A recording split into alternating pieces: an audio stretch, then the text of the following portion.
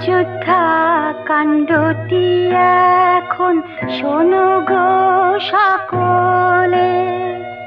অচল হলেন শ্রী দশরথ বৃদ্ধ হবার ফলে। ভাবেন তিনি সিংহাসনে মিছে বসে থাকা। প্রাণের কথা আর বুঝি তার যেন প্রাণে রাখা। শ্রীরামচন্দ্র রাজা হবেন, সীতা হবেন রানী। অযোধ্যাবাসীরা শুনে আল্লাদে আটখানি।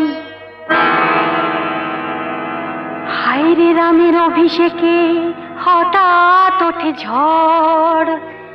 দশরথের কাছে রানী কইকে, চাইতে আসেন বর। রানী বলেন, প্রতিশ্রুত ছিলেন মহারাজ। পাওনা আমার সেই দুটি বর, দাও না তুমি আজ। একটি বরে চোদ্দ বছর রামকে পাঠাই বনে, অন্য বরে ভরত আমার বসুক সিংহাসনে।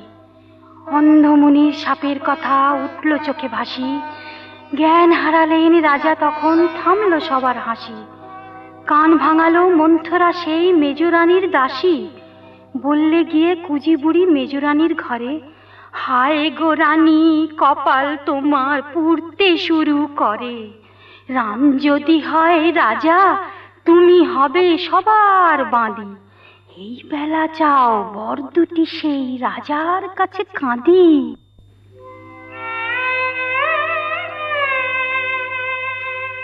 দেবেন বলে শিক্ষা লোকে, লীলা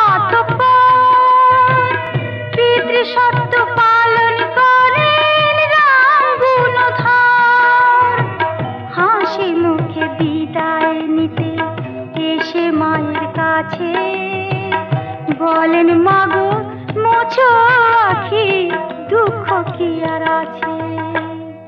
ফিরবে তোমার রাম যে আবার চোদ্দ বছর বাদ। দাও না পায়ের ধুলো মাথায়, করো আশীর্বাদ।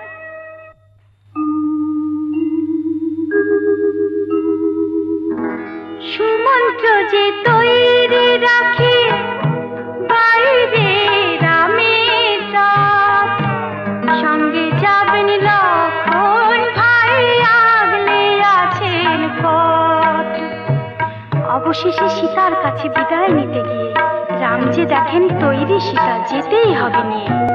নিরুপায় শ্রীরাম নিয়ে লক্ষণ সীতাকে যাত্রা করেন গভীর বনে, ফেলে অযোধ্যাকে।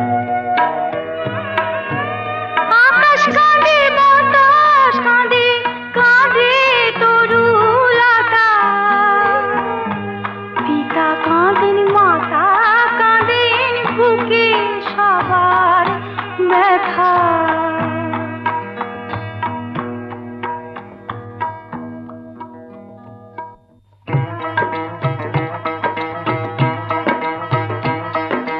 চন্ডাল রাজা গুহক ছিলেন রামের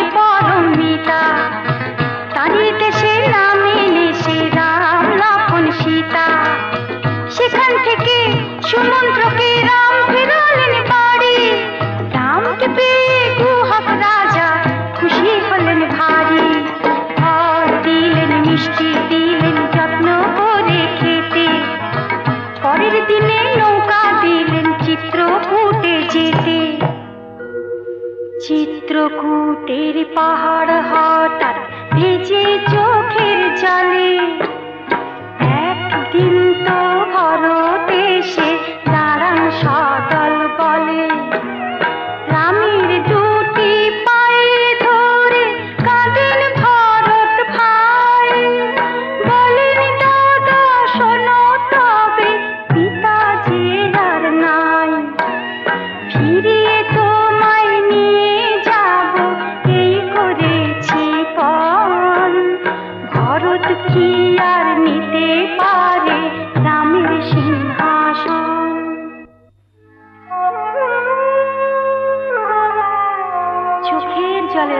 বলেন, তাই যদি ভাই মানো বনে কেন এলাম তবে, সেও তো তুমি জানো।